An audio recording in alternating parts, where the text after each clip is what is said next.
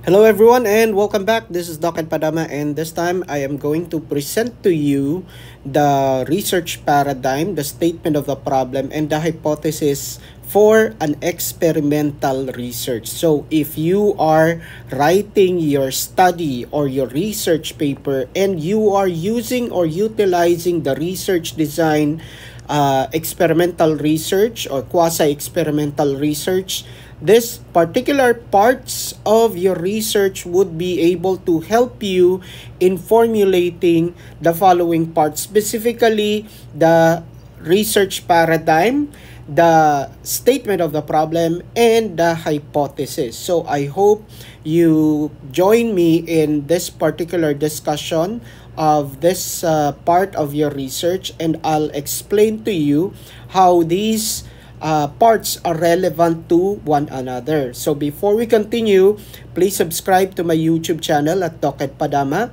Click that notification bell to alert you when a new video has been uploaded. So to continue, as you can see, in your screen, I already have a template for the research paradigm for an experimental research. So, what are these particular uh, parts, elements, and how are they related to the SOP? So, I'm going to explain and label the parts. You can also put this in your actual manuscript.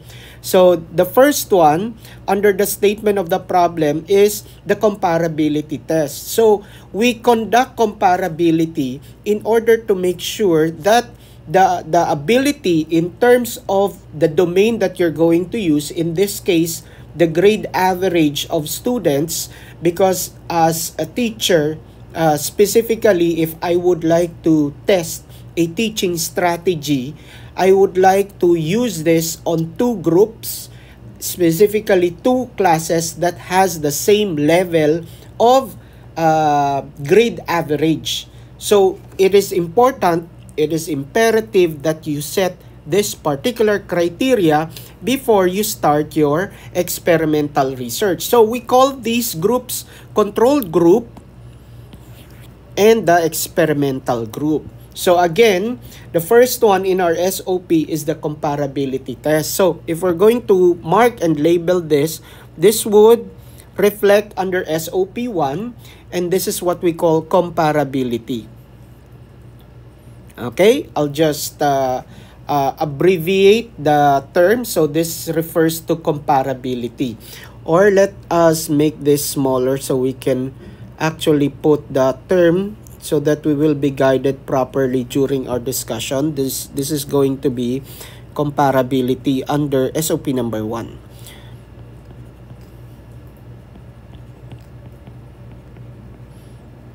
Okay, so we have already established comparability in our paradigm and that is also what is reflected in our SOP or statement of the problem. The next one is we compare the pre-test performance of the two groups, meaning the controlled group and the experimental group. So this will fall under this particular SOP. So we're going to label this as, this one is SOP2 and this is also SOP2.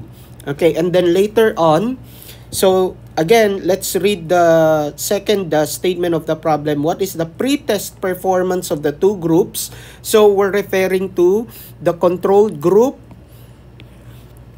under that one. So that's the pre-test and the experimental group. So again, these two are uh, reflected under the SOP. And then under SOP3, the significant difference between the pre-test performances of the two groups. Now we are going to compare. Is there significant difference between the pre-test of the controlled group and the pre-test of the experimental group? So this is what we now call uh, this will now be our SOP number 3 and this will now be labeled as the significant difference. Significant difference between the pre-test of the two groups. Again, to those who are listening right now in our discussion, all of these are already template prepared for you. What we are doing right now is presenting to you the relevance of the, the paradigm to the SOP so that you would be able to follow and discuss this with your uh, panelists during your defense. So the flow of the the flow of the research paradigm would go or would uh, start from the control group going down to the pretest. And on the other side also will be the experimental group going to their pretest uh, uh, instrument. And then the comparability will go two way the same with the significant difference so these are the arrowheads that you're going to use for this particular uh, diagram Okay, the next one under SOP number 4. So if you're going to look at SOP number 4, what is the post-test performance of the two groups? So referring to post-test, these are the post-test. You're going to present the result of the post-test and then after that, immediately you're going to compare if there is significant difference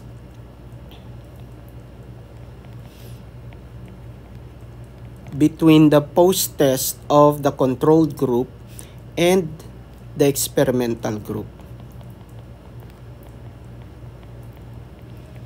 Okay, so again, I am uh, going to present to you the flow of the diagram continuing again from the pretest you go down and then uh, under the control group as you can see here under the control group after the pretest the non-strategy group or the control group will use the non-strategy, meaning the conventional method of teaching, without the use of the strategy being introduced in your particular research. So after conducting the lesson without the use of the strategy, this is now the time wherein the post-test will be administered. So again, going down here, the same with the other side, from the experimental group after the pre-test, they're going to conduct class using the strategy introduced in this particular class.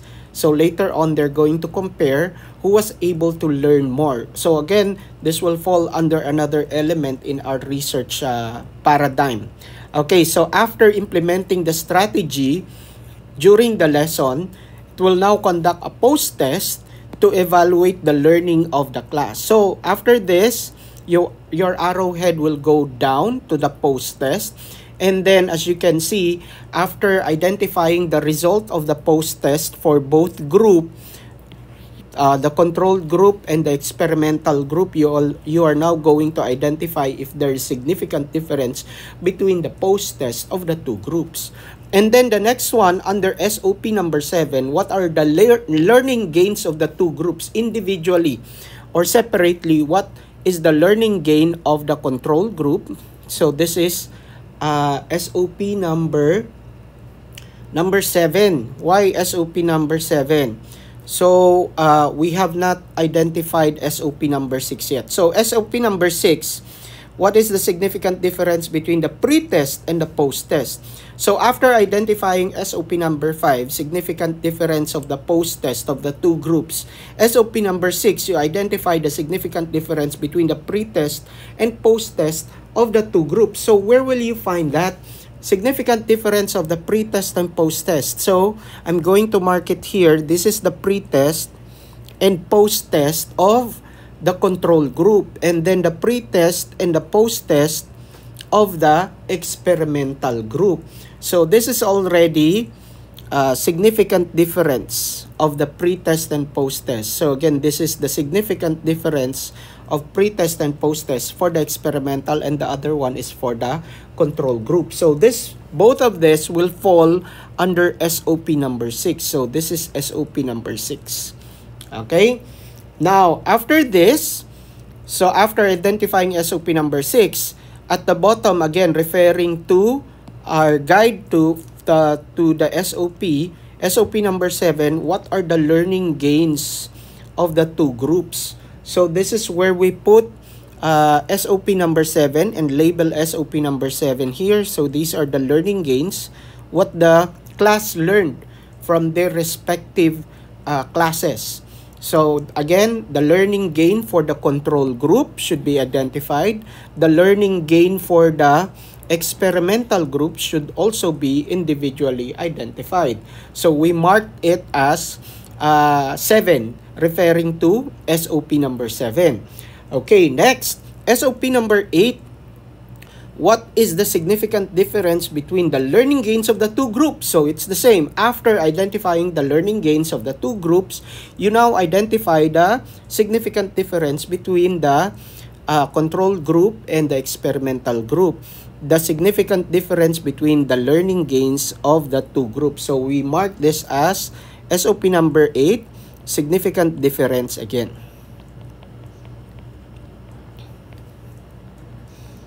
Okay.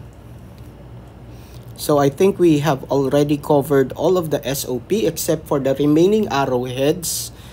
Okay, so this is where we complete the, the paradigm referring to or reflecting what is already presented in the statement of the problem. So this is already a representation of the paradigm. So uh, this is what we meant by the re relevance and relationship of the paradigm to the SOP.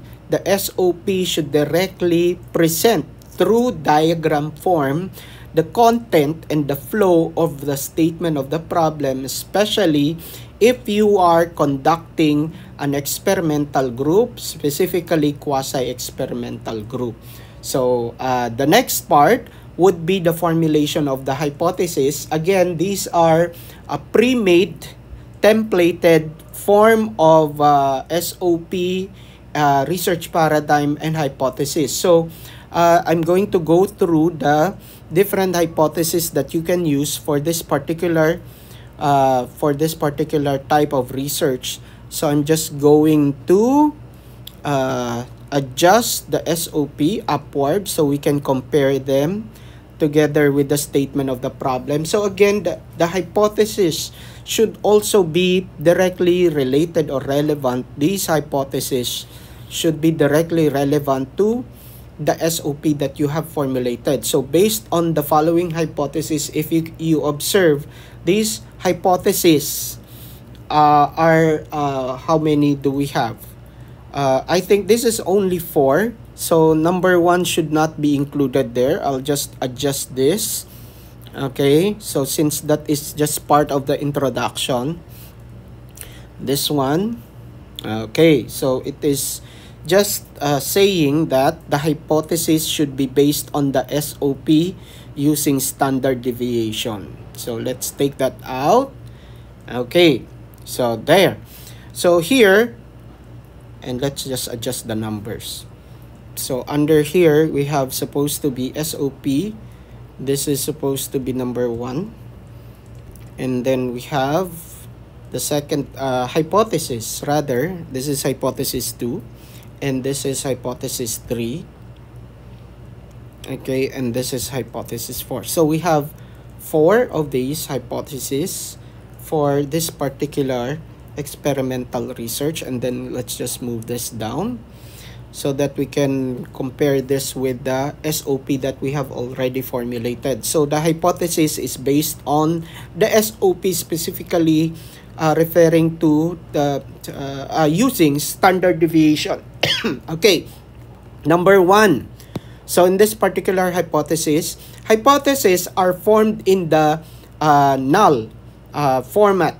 So null format, I have already explained this because uh, most researchers expect a positive or affirmative result in their research. That, that is why we formulate usually the null hypothesis specifically in our institution to counteract the expected output of your research which is in affirmative.